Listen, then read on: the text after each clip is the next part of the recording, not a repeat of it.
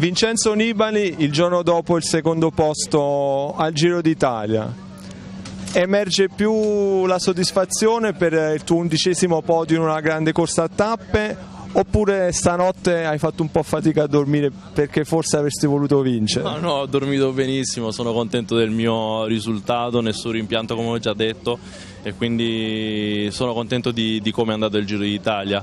E io credo che all'interno di, dei 21 giorni non si poteva fare eh, diversamente e abbiamo cercato ognuno di noi, ogni, ogni, leader di interpretare a modo suo il proprio, il proprio Giro d'Italia e comunque il secondo, il secondo assoluto non è un, un risultato da, da, da poco. Ecco. Sei ad un solo podio di distanza dal record italiano di Felice Gimondi come numero di podi nei grandi giri e a due da quello di Jacques Anquetil ammettilo, è, è, comunque, allora sei già tra i grandissimi, tra i monumenti del ciclismo, ma quanto ti stuzzica questa possibilità di eguagliare, magari superare questi record, quindi a proseguire ancora per altri anni? Ma no, non penso a, a, questi record perché io lo faccio con grande dedizione, questo è il mio sport, il mio lavoro e quindi ci metto la passione e da, dalla passione arrivano anche eh, dei, dei, risultati, a volte possono essere degli ottimi risultati, a volte possono essere anche un po', un po più negativi. Comunque alla fine cosa devo dire? Intanto pensiamo andare avanti così e cercare di raggiungere altri risultati e poi vediamo. Riccardo Mangrini ha detto che tu hai una situazione anche familiare che ti dà serenità, quindi lui è convinto che tu possa gareggiare ed essere competitivo fino a 39 anni. Non, lo, non lo so, vediamo. Eh, sicuramente quando c'è la grinta e la passione di voler fare questo al massimo e anche il fisico dà un grande supporto, sicuramente si, si può fare. Poi nel momento che io magari ritengo opportuno di, di doversi fermare, questo poi lo vedremo. Parlaci bene nello specifico cosa è successo veramente eh, nella tappa di Courmayeur, cioè, eh, quel tatticismo con Roglic, cosa è successo veramente e cosa ha fatto sì che Carapaz prendesse poi tutto quel vantaggio?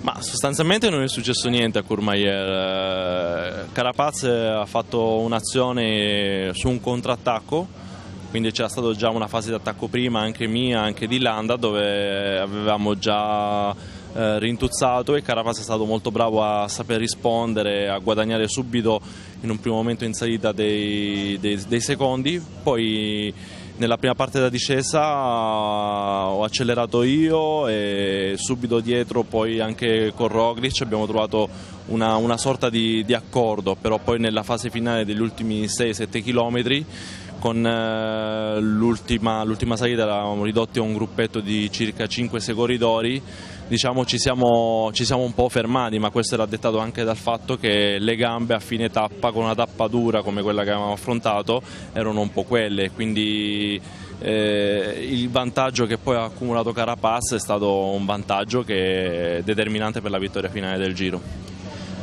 Tra poco più di un mese ci sarà il Tour de France a cui tu hai detto che non eri proprio d'accordissimo di partecipare, probabilmente avresti preferito la Vuelta, ma ovviamente hai assecondato quelle che sono anche le esigenze della squadra. Hai parlato eh, di non avere pressione di presentarti al Tour eh, per vincere possibilmente qualche tappa e magari la maglia può ma è un approccio diciamo affari spenti e poi non è detto che tu faccia classifica?